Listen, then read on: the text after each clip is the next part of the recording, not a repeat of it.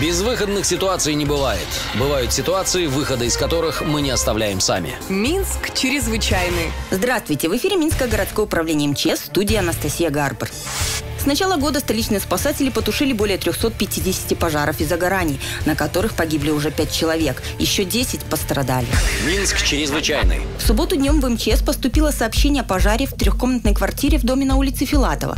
Горело имущество в жилой комнате. Прибывшие спасатели вынесли из квартиры 60-летнего хозяина.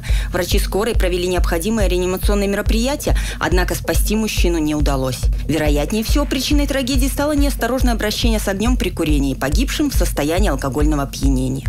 При следовании к месту этого пожара подразделения МЧС вновь столкнулись с проблемой припаркованных во дворе авто с нарушением ПДД. А ведь главное условие работы пожарных – оперативное прибытие на место происшествия. От времени, которое они тратят, чтобы пешком преодолеть расстояние от автомобиля до подъезда и горящей в нем квартиры, зависит жизнь людей, находящихся в очаге пожара. При выборе места для парковки на внутридворовых территориях обязательно учитывайте возможность проезда большегрузной техники МЧС. Минск чрезвычайный. Разыгравшаяся в республике в выходные непогода натворила беды в Минске. Порывы ветра срывали фрагменты кровли со зданий, рекламные полотна с билбордов, валили деревья. Вечером в субботу из-за сильного ветра часть навеса оторвалась от крыши остановки общественного транспорта на улице Одинцова и травмировала стоявшую рядом пенсионерку, которую госпитализировали. Спасатели помогали коммунальщикам устранять последствия непогоды.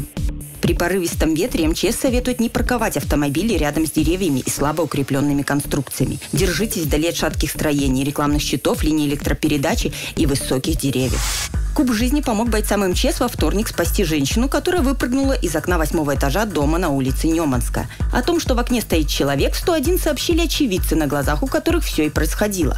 Когда спасатели развернули подъемник, чтобы поговорить с 36-летней женщиной, она вернулась в квартиру, однако позже открыла окно и, не раздумывая, прыгнула вниз. К этому времени спасатели уже развернули пневматическую подушку, которая приняла удар на себя. Медики госпитализировали женщину. Минск чрезвычайный. Вся неделя в Беларуси проходит в формате повышенной безопасности. В республике продолжается масштабная акция «Единый день безопасности». Спасатели проводят учения на случай пожара на крупных предприятиях, опасных объектах и многолюдных зданиях. Уроки безопасности проходят и в учебных заведениях столицы. На сегодня это все. До встречи в следующий четверг.